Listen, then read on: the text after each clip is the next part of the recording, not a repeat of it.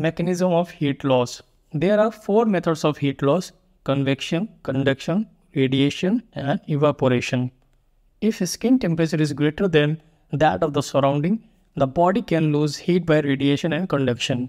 But if the temperature of the surrounding is greater than that of the skin, the body actually gains heat by radiation and conduction. So let's talk about each method. Evaporation. Heat loss through sweating or wicking into clothes. Radiation. Heat dissipating into colder environment. Conduction. Heat dissipating into objects in contact. For example, a patient lying on cold ground. Convection. Wind disturbance of insulating layer of air surrounding body wearing away with it. Chilblains, also known as pernio or perniosis. Chilblains is the mildest form of cold injury. It occurs on exposure of bare skin to cold, windy environment within 12 to 24 hours and it gets resolved within a week. In this condition, temperature should be around 0.6 to 15.6 degrees Celsius. Areas involving chilblains causes pruritus, pain or burning in ear, tip of nose, fingers. It presents erythematous to violaceous macules, papules, plaques or nodules in sites of cold exposure. Complications Chilblains may sometimes lead to blistering, ulceration, secondary infection. Differential diagnosis of chilblains are as follows. Chilblains lupus erythematosus, other disorders, cold panniculitis, acrocyanosis, Raynaud's phenomenon, and cold-induced vascular occlusion syndrome. Treatment of chilblains. Keep affected area warm by wearing insulated clothing, gloves, and footwear. Unprotected exposure to cold conditions should be avoided. Nifedipine is a drug it can be used in refractive pernio or chilblains. Rapid rewarming, moisturizing lotion, analgesics can be provided to affected persons. How to do rewarming? Immerse affected body part for 15 to 30 minutes into bathtub, adding hexachlorophene or povidone into water. Trench foot. What is a trench foot? It is also known as non-freezing or immersion injury. It is caused by cold exposure to tissue not resulting in freezing, rather immersion of body part for a longer period of time, around 10 to 12 hours at a temperature below 10 degrees Celsius. Treatment of trench foot are which involves rewarming followed by dry dressings, treat secondary infection with antibiotics. Extra knowledge in comparison of trench foot just like non-freezing, we can see warm water immersion condition too.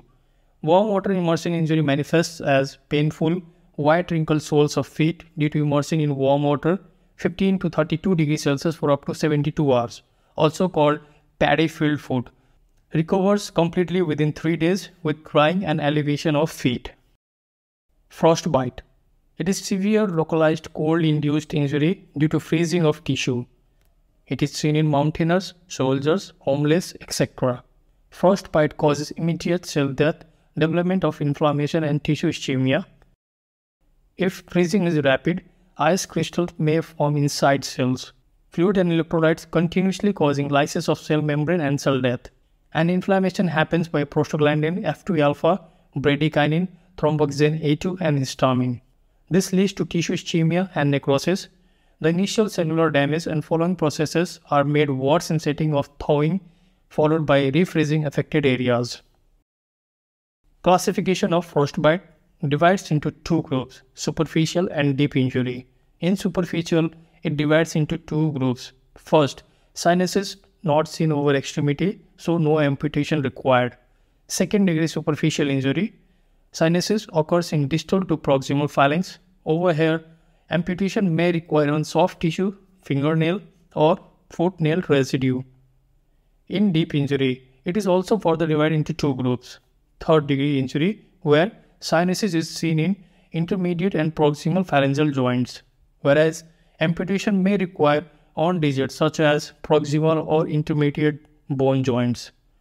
Fourth degree deep injury, cyanosis occur on carpal or tarsal bone Amputation may require over limb with functional residue. What are the risk factors of frostbite? So risk factor of frostbite may include inadequate insulating or coverage clothes, tight clothes or permeable to wind clothes, alcohol abuse, smoking, previous cold injury, peripheral vascular disease such as diabetes mellitus. It limits individual's ability to respond to a cold stress. Exhaustion, dehydration, malnutrition, direct exposure to conductive heat loss due to contact with metal, ground or water. Clinical pictures of frostbite. It may present with these symptoms such as cold, numbness, clumsiness. Most frequently affecting areas are as follows ears, nose, cheek, chin, fingers, toes.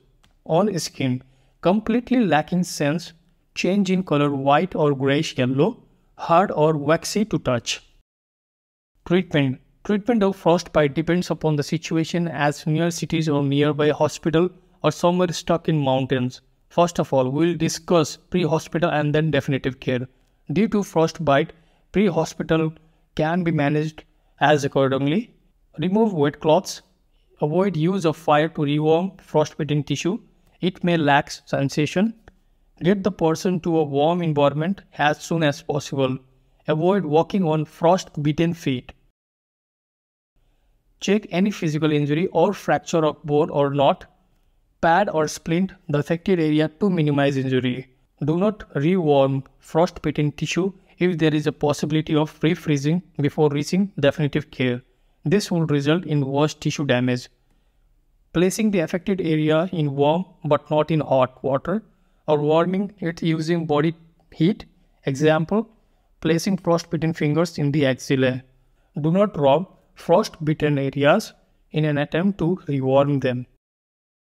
Definitive care of frostbite includes thrombolysis for severe injury presenting within 24 hours, prostacyclin therapy for severe injury presenting within 48 hours, hyperbaric oxygen therapy, pentoxifylline drug, heparin without thrombolysis. Thank you for watching. Take care. Please do not forget to like and subscribe Body Capsule.